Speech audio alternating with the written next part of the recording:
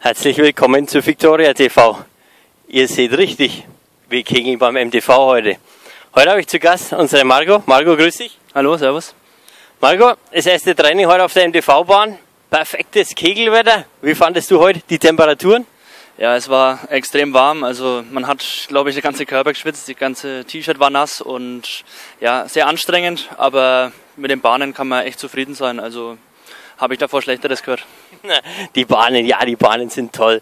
Ähm, nächstes Jahr wird die Bahn leider abgerissen. Wir haben dieses Jahr die Möglichkeit, darauf zu trainieren. Findest du es gut, auch auf härteren Bahnen zu trainieren? Oder sagst du, ey, boah, TV 1860, die Überbahn, was ist so deine Einstellung?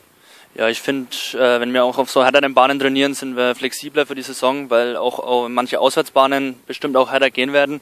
Und ich finde, so können wir uns auch ein bisschen darauf einstellen und auch gut für die Auswärtsspiele vorbereiten. Du trainierst jetzt schon öfters in einem ganz besonderen Trikot, habe ich gesehen. Du bist Clubfan. Äh, jetzt mal so die Frage vom Viktor an dich. Dein Vorstand ist Spielvereinigungsfan durch und durch. Wie kommt er überhaupt damit klar?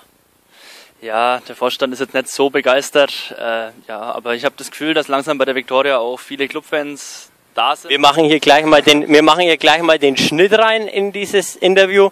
Marco, ich